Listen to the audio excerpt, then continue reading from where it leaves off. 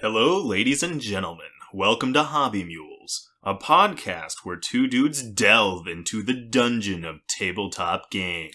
and where the hosts are as based as their minis. I'm Josh. And I'm Sam, and we are your hosts for today. Sam, why are you here? Why am I here? I'm here to talk about myself, and I'm here to talk about you. Ooh. Uh, Oh. Huh. So, we decided to start a podcast. Indeed. But why did we start this podcast? Well, we like to talk a lot. Indeed. and you know it gets to the point where why don't we just talk into the mic so everyone else can hear our correct opinions I agree. And why hobby mules? Mules are, slave animals much like we are slaves to the hobby. indeed this is kind of cute how like one of us will start something and the other one will finish, Finish it, yeah. oh oh, oh. We're cute here we're, we're Uh, sweethearts yeah. hobby sweethearts maybe Mules are stubborn, oh yes lazy, lazy much like ourselves. mm-hmm mm-hmm Correct opinions, i already mentioned that josh always. Whoa. you even see the notes, boy. i think you're incorrect in this Jamie, Jamie, can you look that up? no Well, Sam, Uh, how did you get started in the hobby? how did I get started in this hobby? Well, I played D and D when I was like in the sixth or seventh grade, and you know, after a few years of of being a player, I thought to myself, I could do this way better. But to be able to say that, I actually did. So then I started DMing, and the moment I started DMing is the moment I fell all into this tabletop hell, tabletop realm. I just got sucked in. Tabletop Purgatory. Tabletop purgatory. That's right. now, what right. what edition did you start with? Did you hop into fifth edition? Yes, I did hop into fifth edition, and oh boy, I, I'm not I'm not a huge fan of it. Uh, the other editions are way better, or I'm not a big fan of Roll Twenty Two. Oh boy, I I've since realized that I want to form the ultimate game of D and D, and I don't need fifth edition for that, and I don't need online play for that. I need miniatures that need to be painted well, Dungeon tiles. dungeon tiles, hmm a story that's all my own, you know, you know. Uh, but but yeah, after after I figured that out and started doing it, Warhammer came next, and just everything else tumbled away from there. But what about you, Josh? Well, Sam, I'm a husband. I'm a father. But most importantly, I'm a gamer. The best thing to be. And my venture into tabletop games started with HeroScape when I was like eight. I got the first starter set, and it was very eye opening for me because my whole life I'd played Monopoly, Life, Sorry, You know, I've- Sorry, I feel you on that. and all of a sudden HeroScape came along, and it was like, oh my god, board games can be fun and cool.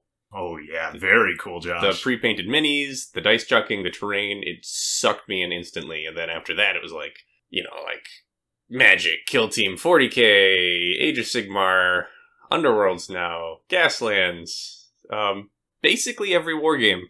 yeah, basically every. Uh, looking around this room, there's there's quite a few different ones. Your games are very impressive. You must be very proud. oh yes, Um, I have a long and girthy pile of shame. it's okay. We all do. Mine's not as girthy as yours, though. I've seen yours. Yeah, you're actually staring at it right now. I'm in awe, to say the least. I was going to ask, what's your favorite aspect of the hobby overall, then? Oh boy, uh, that's a tricky one actually. I know. Um, actually, uh, narrative. I'm a Narrative. I'm a narrative player. I like seeing cool stories be told through the dice on the tabletop. I feel that. I really. It's so cinematic like, I'm- sometimes. I'm you not a spike. I don't like competitive play. I just want to show up and I want everyone to have a good time and to tell a cool story as we play a game together. Hell yeah. What's your favorite aspect, Sam? Mine? That's. I'd say that's pretty dang close to mine, also, honestly. The other thing that really comes to mind when I think of a war game or a card game or whatever else is the art, you know? So, Ooh, yeah. whether that's like physical, like the minis, or like Magic the Gathering, man, some of that old Magic the Gathering art just hits different. Poignant. It is, mm, it is good. Yeah, I completely agree. The the art style of a game really sets the mood and it'll turn you off or turn you onto a game right off the bat. Oh, 100%. Like, I know Magic the Gathering for me, I, I, I tried Yu Gi Oh!, but that, that just wasn't my style for the art. yeah, I know, I know. But but Magic the Gathering, I got I got a pack and I saw the art and like it, it hit me like a freight train. Like whoa, uh, conquistador vampires, pirates, dinosaurs. This is awesome. Holy shit! Ah, Ixalan. Good times. Good times. And we'd like to wrap up every episode talking about what we've been working on this week in Hobbytown. So Josh, what have you been working on? Um, for me this week, it's been Orktober in full swing. So I've I've got an Ork Combat Patrol that I based, primed, and I've been preparing them for slap chop and testing out my green paints. I've I've seen some of the test models, and I gotta say, Josh, the uh, Gilly do? the Gilly do. I still Gilly- think the Gilly do, but I know you you're like leaning that? towards. You like that Gilly do? I'm I'm torn. I like the Gilly do, but it's kind of like Hulk skin. So it's it's that or that or Vallejo lime green with bile tan green on top. Admittedly, both look really good. So either way you go, I don't think you'll be doing it wrong. I guess there's no wrong way to do it. They both look good. Well, You know? thank you, Sim. I think the only thing we can agree upon is that orc skin, the color, makes for shit orc skin, unless you want them to look like Christmas trees. Oh, like the speed paint? Yeah. yeah. Oh, jeepers. Yeah. But yeah, that's that's what I've been working on. How about you, Sam? So this week, I think I've told you about Ral Partha Legacy. They are this. They're this company. Yeah, yeah, yeah. They're actually based uh, in Ohio, Much- much, like I believe the original Ral Partha. Oh, okay. Like okay. the company was based in Geneva.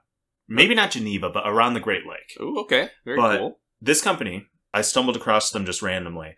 They they have all the old casts for the old Ral Partha models. They buy them up and then they recast them and sell them. So I bought a bunch of models from uh, the main guy, and I, I emailed him and I said like, "Hey, uh, I see you're looking for painters. Do you want me to paint some stuff for you?" And I sent him stuff, and he's like, "Oh heck yeah, we'll let you pick first. Oh, you want these Chaos Spearmen and these Egyptian chariots? Sure. And if you paint them up and send them back and they like it, they'll send you free minis. Ooh, So- okay. So yeah, so I've been I'm working on the I've gotten six Chaos Spearmen done, and I'm working on the next six. It's it's good. I, I like how simple they are. Okay, very cool. Yeah, those old models, for such limited detail, they have so much character. Yeah, they do. Yeah, they do. And they have they have the old model like cast where both their arms are out flat. Arms up, legs wide. it's awesome. Oh, that's awesome.